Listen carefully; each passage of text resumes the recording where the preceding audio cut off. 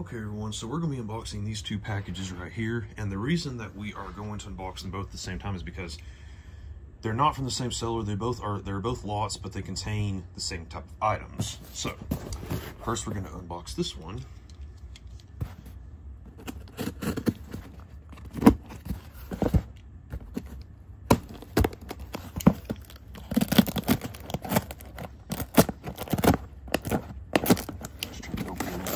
kind of a weak box cutter, but you know.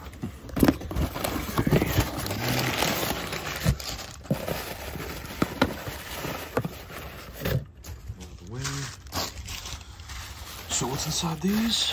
Well,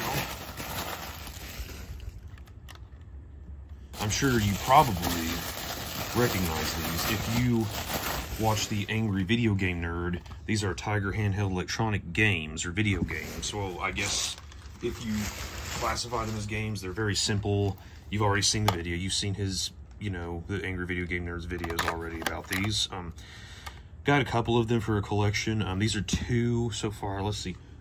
Um, this one's from 1988. I don't know if you see that, but it says 1988 on it. It's kind of hard to see that. But it says 1988. And then the bowling, which we all saw the bowling on his video. He, that's one of the ones he played. It's from 1987. So both uh, nearly 40 years old.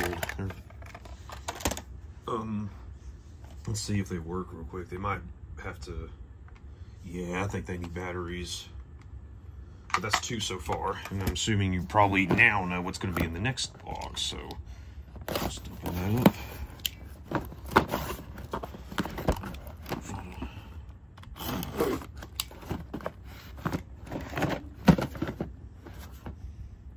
Try to just get that right there. Okay.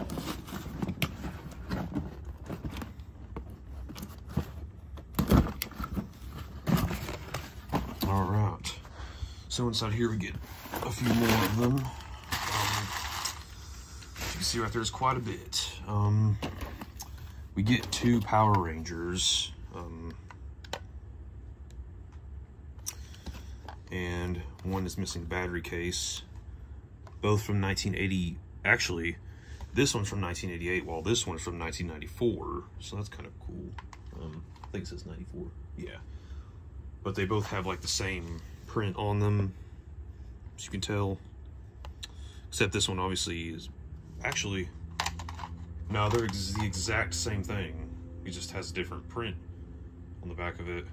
But as you can see right here, both of them say 1994 on the front, while this one says 88 on the back, and this one's 94. So Hasbro was, because these were from Tiger, which was Hasbro company. Hasbro, it was very common for Hasbro. I think they even do, still do it today. Hasbro would often use remodels of older items, so they probably just use a remodel of an older game for this one. Um, I think they re-released these a couple years back. Actually, I actually have a, which I'll show that later. But I have a. Here's one right here, uh, X-Men, and this is actually one that was released in 2020. Um, the back there says 2020, so this is actually one of the re-release ones that I got recently. I haven't showed it yet, but that's a re-release. Um, the newest out of all these. All these other ones are older. Um, but anyways, we got um, car racing um, right here. And this is uh, from 88 again. Most I think it's when they 87 88 is when most these are most of these are from. So is that got Star Trek, um, Star Trek right here. Again, missing battery case. 88, 1988. There.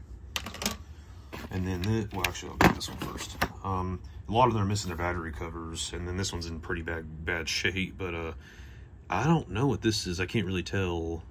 Um, it's like the print's ripped, the sticker print's ripped off. So, um, 1988. Again, they all need batteries, and I'll show those some other time. But um, and then here is a Radio Shack Sonic Sea Battle game. I'm not sure if this is even a Tiger handheld game. I think this is completely different. It says Radio Shack on it, so I'm not so sure. Um, but but yeah, um, I'll show them all in action as soon as I can in the future. So, anyways, Hope you enjoyed this video and thank you for watching and bye.